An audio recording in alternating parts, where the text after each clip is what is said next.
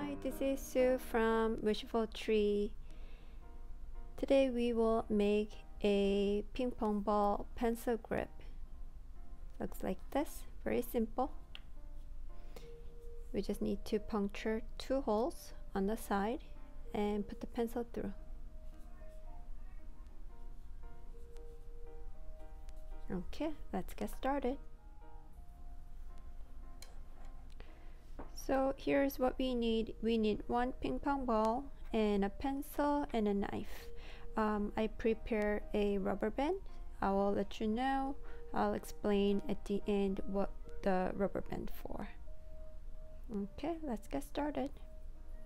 I want to make a mark on the ping pong ball. I made one mark over here and the other side will be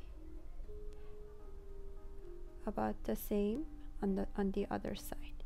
I want to leave a little bit more space on the bottom.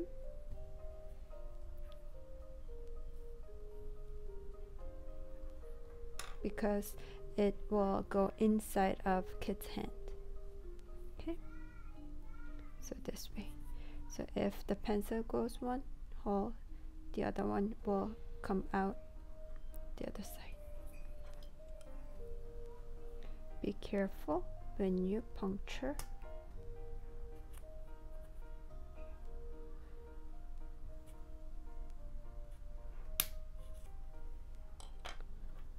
Okay.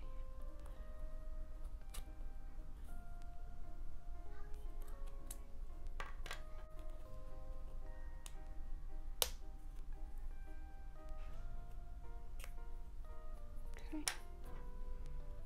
So pencil go through come out the other way and just wiggle through.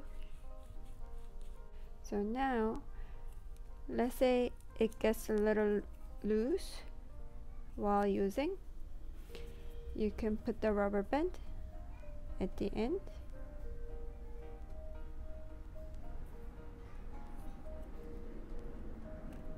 And this one can go hold the tip so it keeps in place. Usually kid's hand is smaller than my hand so this ping pong ball would fit sit inside their hand perfectly. Alright. This is it for today. Thank you for watching.